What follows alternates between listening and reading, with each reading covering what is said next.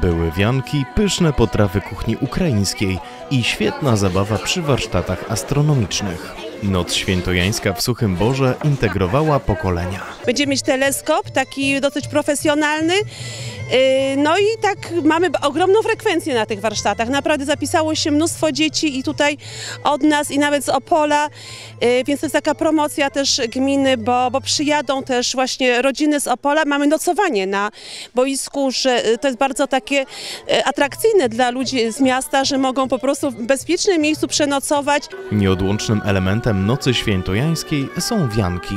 Podczas warsztatów każdy mógł spróbować swoich sił i stworzyć ten jedyny niepowtarzalny wianek. Ten e, sposób plecenia to uczyła mnie moja mama. Tak naprawdę ze wszystkiego. To, co dała nam natura. Ze wszystkiego. Z e, traw, e, zbóż, kwiatów. Zboża najładniej wyglądają, prezentują się, tra- są trwałe. Każdy może to zrobić. Duży, mały, chłopak czy dziewczyna nie ma, nie ma żadnych barier. Do wspólnej zabawy zaproszono gości z Ukrainy, którzy mogli podzielić się swoimi kulinarnymi umiejętnościami. U nas tradycyjnie to jest barszcz. Chyba znacie barszcz ukraiński, macie też jeszcze pierogi. Mamy takie pielmieni. No też, chyba dzisiaj będą gotowane pielmieni. Ja myślę, że bardzo różnią się nasze kuchnie. Naprawdę, bo próbowałam kuchnią polską i spodobało mi się na przykład żurek.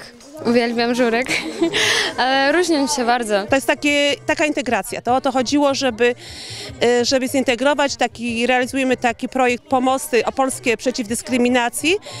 I właśnie ten projekt się doskonale wpisał w tą sytuację, bo no, notabene konkurs był ogłoszony wcześniej, ale wydarzyła się, wydarzyła, wydarzyła się ta tragedia i akurat mogliśmy, mogliśmy wyjść naprzeciw tym oczekiwaniom. Nie brakowało gier i zabaw. Tej nocy można było także spać pod namiotami i oglądać gwiazdy.